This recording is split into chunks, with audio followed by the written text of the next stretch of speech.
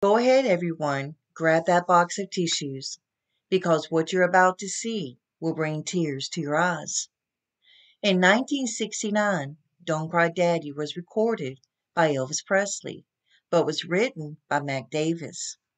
In 1997, Lisa Marie Presley, Elvis's only daughter, who he loved and adored, made a video of Don't Cry Daddy, a tribute that Lisa Marie Presley wanted to do for her father and for his fans.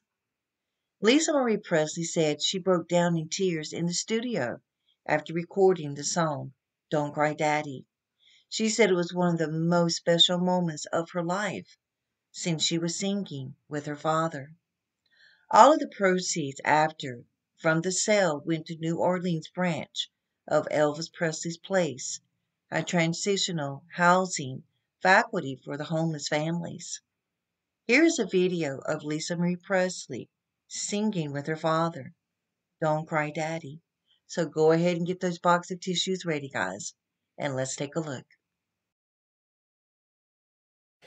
He was always very proud of all his, his accomplishments and his achievements.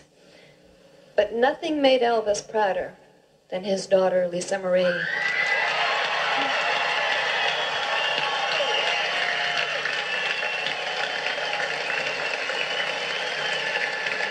For many months now, Lisa and I have been looking forward to this very special night. But like Elvis, she's not one for making big speeches. So she wanted to pay tribute to her father and express her appreciation to you in a very special way. Lisa wasn't sure just exactly what she wanted to do and how to do it, but about three weeks ago, she came up with an incredible idea. And I know Elvis would be just as proud of her as I am for what she has come up with. it would mean the world to him, and I'm sure it will mean the world to you. Before I bring Lisa out, though, there's something she wants to share with you.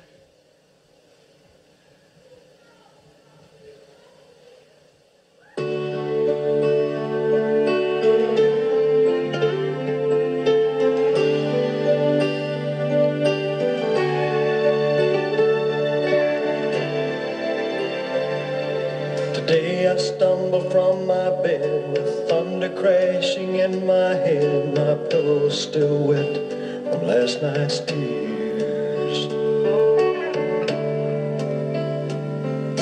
And as I think of giving up, a voice inside my coffee whispers,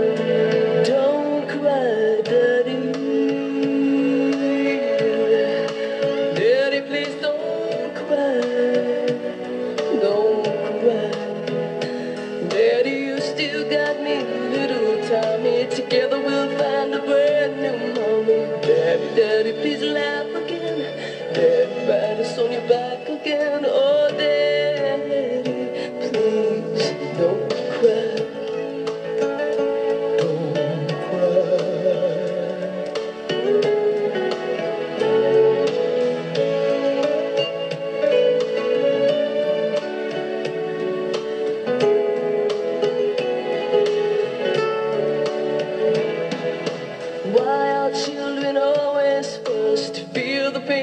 pain heard the worst is cruel somehow?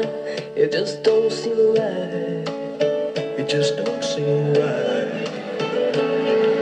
'Cause every time I cry, I know it hurts my little children so. Will it be the same tonight?